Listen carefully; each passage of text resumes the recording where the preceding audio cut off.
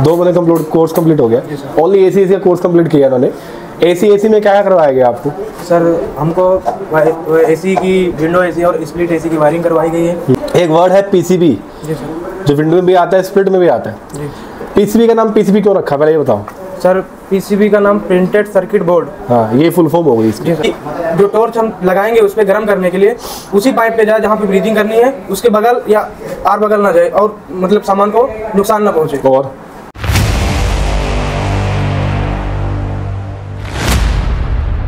Hello guys ABC institute में आपका स्वागत है। ये हमारे स्टूडेंट है क्या नाम है आपका? सूरज कुमार। सन ऑफ़ शिव प्रकाश ठीक है कहाँ से आए हो आप? सर मैं यूपी से। यूपी से कहाँ से आए हो? सर यूपी रायबरेली अच्छा अच्छा अच्छा। आपने कोर्स किस किस, किस चीज़ का किया? एसी का। एसी का कोर्स किया आपने। अच्छा अच्छा। कितने मंथ में कोर्स कंप्लीट हो गया आपका? सर दो मंथ दो महीने कंप्लीट कोर्स कंप्लीट हो गया। ओनली एसी एसी का कोर्स कंप्लीट किया इन्होंने। एसी एसी में क्या क्या करवाया गया आपको? सर हमको एसी की विंडो एसी और स्प्लिट एसी की वायरिंग करवाई गई है। हम्म, और वैक्यूम करना ब्रीजिंग करना गैस चार्ज करना पंपिंग चेक करना ये सब सभी का, काम करवाए गए हैं इन्वर्टर एसी इन्वर्टर एसी भी करवाया अच्छा आपने पीछे वर्ड बोला पंपिंग चेक करना। जी सर। इससे हम क्या समझते हैं? पंपिंग चेक करना क्या होता है?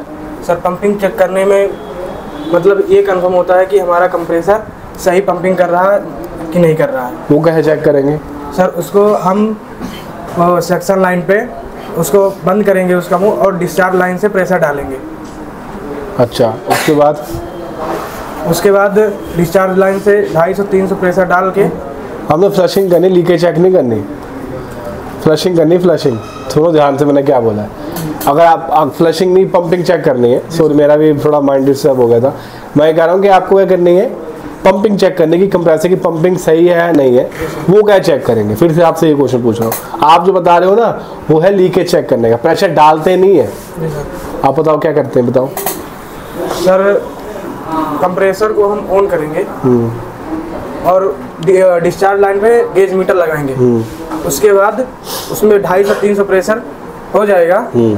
तो अगर उसकी पंपिंग लो होगी तो मीटर डाउन पे आएगा। कब डाउन कब होगा? जब बंद करने के हाँ, बाद मतलब ढाई सौ पे जाने के बाद बंद कर देना। हाँ। बंद होने के बाद क्या करेंगे आगे?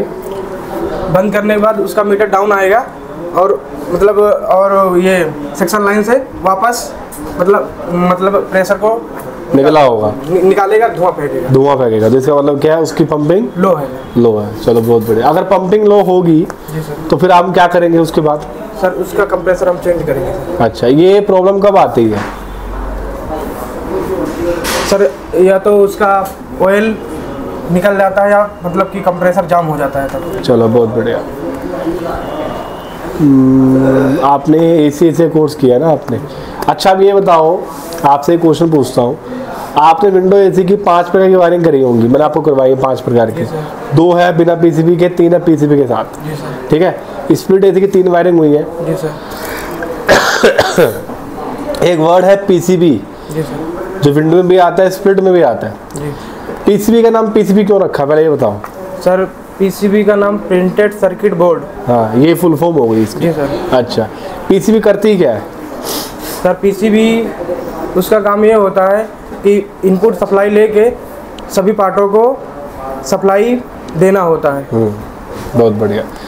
अच्छा अच्छा आपने सही बताया। और अगर मान लो हमारा एसी चल नहीं रहा। विंडो एसी है मान लो। वो डेड पड़ा हुआ है। ज़ीरो को ज़ीरो हो गया। वो कस्टमर कह रहा है कि आप आओ देखो क्या हो गया। हमारे ही कल तक चल रहा था लेकिन आज क्या हो गया। डेड हो गया उस समय आप क्या क्या चेक करोगे वहाँ पे? सर पहले तो हम जाएँगे उसकी मेन लीड चेक करेंगे। मेन लीड चेक करेंगे कि पीसीबी पीसीबी में सप्लाई जा रही है कि नहीं जा रही है। उसके बाद जब सप्लाई मिल रही है तो हम उसका रिले चेक करेंगे और फ्यूज चेक करेंगे। और उसके बाद उसमें भी जा रही है ट्रांसफार्मर चेक करेंगे सर। उसके बाद हमारा आगे मतलब कि अगर नहीं नहीं जा रही सप्लाई तो हम पीसीबी को चेंज ही करेंगे। अगर आगे सप्लाई जा रही है तो हम कंडेंसर भी चेक कर सकते हैं। कैपेसिटर कैपेसिटर भी चेक कर सकते हैं। बस। ये सब कुछ। मतलब हमारा यहाँ तक है? जी सर। ठीक है। लास्ट हमारा है ट्रांसफार्मर तक चेक करना इसके आगे जाके अगर कोई प्रॉब्लम होती है तो पीसीबी तो पीसी वाला ही करेगा या तो हम उसको चेंज करेंगे या तो उसको हम रिपेयर करवाएँगे यही आप कहना चाहते हैं। बहुत बढ़िया। जैसे कि आपने नाम बोला ट्रांसफार्मर नाम बोला ना? ट्रांसफार्मर क्या होता है? सर ट्रांसफार्मर एक स्टेप डाउन ट्रांसफार्मर होता है जो कि उसमें मतलब कि हाई वोल्टेज से लेके डाउन वोल्टेज में उसे प्रोवाइड करता है पीसीबी को। बहुत बढ़िया बहुत अच्छा बताया आपने। स्टेप डाउन ट्रांसफार्मर जी सर। बहुत बढ़िया। वो कहते हैं ना कि बच्चों को जिन पे उम्मीद नहीं होती वही बंदा रंग दिखाता है। आप पे हमें ये उम्मीद नहीं थी। और सच्ची आपको मुँह पे बोल रहा हूँ। मैंने क्वेश्चन पूछ तो दिया आपसे लेकिन हमें नहीं लग रहा था कि आप इसका जवाब दे पाओगे। आपने दिया तो मुझे बिलीव नहीं हो रहा। बहुत बढ़िया बताया आपने। इनका नाम है क्या नाम है? सूरज। बहुत बढ़िया सूरज। ये तो कैन है आपके सामने। ये किस चीज़ की कैन है अभी? बुटेन गैस की स्टैंड है सर इससे हम ब्रीजिंग करते हैं। इस, इसकी सहायता से टॉर्च लगा के ब्रीजिंग करते हैं। चलो ठीक है। आजकल दिख रहा होगा आजकल जो है हर साल के अंदर क्या एक, एक न्यूज़ आती है कि फलानी जगह में एसी फट गया ब्लास्ट हो गया। या वहाँ पे एसी फट गया। इसके पीछे क्या कहना चाहोगे? एसी क्यों फटते हैं? गलती टेक्नीशियन की होती है कि एसी में होती है? सर गलती टेक्नीशियन की होती है। दरअसल उसमें गैस निकलने के बाद उसमें बाहर की हवा प्रवेश करती है। उसके बाद एसी टेक्नीशियन पता नहीं लगा पाते। तो उसे चालू कर देते हैं। तो उसका जो कंप्रेसर रहता है जैसे कि 100 प्रेशर गया तो एक एक सर्कल घूमेगा तो दूसरी बार आएगा उसका दो दो सौ हो जाएगा। इसे होते करते थोड़ी देर बाद कंप्रेसर फट जाता है सर चलो बढ़िया बताया आपने। और आपको मान लो लीकेज मिल गई जी सर एक एसी का टॉपिक है लीकेज मिल गई लीकेज मिलने के बाद अगला स्टेप क्या करोगे आप? सर लीकेज मिल गई उसके बाद सर हम ब्रीजिंग करेंगे। हाँ ब्रीजिंग करते क्या क्या सावधानियाँ रखनी है? सर ब्रीजिंग करते सावधानियाँ ये रखनी है कि जो टॉर्च हम लगाएँगे उस पर गर्म करने के लिए उसी पाइप पे जाए जहाँ पे ब्रीजिंग करनी है उसके बगल या आर बगल ना जाए और मतलब सामान को नुकसान ना पहुँचे। और? और सर खुद को भी बचाव बचाव रखना है कि मतलब कि जल ना जाए। जल ना जाए हाथ पैर। ठीक है और कुछ इसके अलावा? जो मेन स्टेप है वो बताओ। ब्रीजिंग करते समय क्या क्या ध्यान रखना है आपको? लीकेज मिलेगी। लीकेज मिलने के बाद आपको ब्रीजिंग करनी है। आप कह रहे ब्रीजिंग करते हैं सर। ब्रीजिंग करते आपने दो सावधानी बताई कि ब्रीजिंग उसको ही करो जहाँ पे करनी है। दूसरे पार्ट पे हीट मत दो। जी सर। दूसरा आपको ये बताया कि अपनी भी सावधानी रखनी है कि आप जल ना जाए। और कुछ इसके और अलावा? उसके पहले अगर एसी के अंदर प्रेशर है तो उसको निकाल देना है। हाँ, ये स्टेप पहले आना था। जी सर। ये स्टेप सबसे पहले आना था। ठीक है ये फ़र्स्ट स्टेप है। प्राइमरी है ये सबसे पहले आता है। चलो बहुत बढ़िया आपने बताया ये याद रखना आपको। ठीक है? चलो जी। एक वर्ड आपने सीखा होगा पंप डाउन करना। जी सर। सीखा है ना? ये वर्ड के बारे में जानते हो पंप डाउन करना। पंप डाउन करना क्या होता है?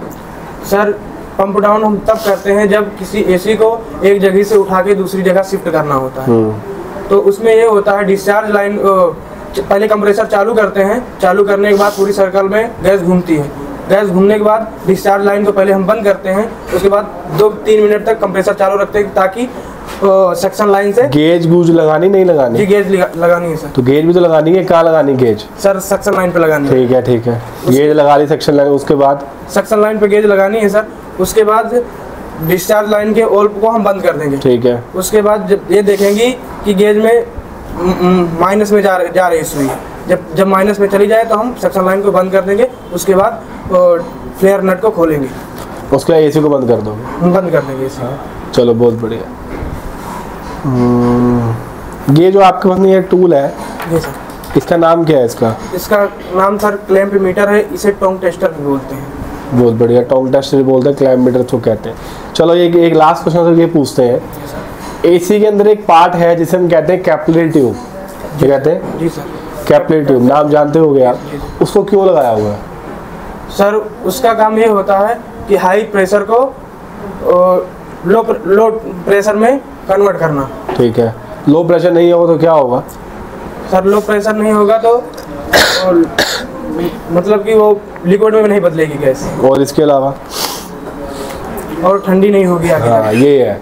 अगर प्रेशर लो नहीं होगा तो टेम्परेचर भी लो नहीं होगा। तो प्रेशर लो करना बहुत ज़रूरी है। तो वो करती कौन है? कैपिलरी ट्यूब चलो ठीक है ठीक है। तो होप करता है आपको वीडियो अच्छी लगी होगी।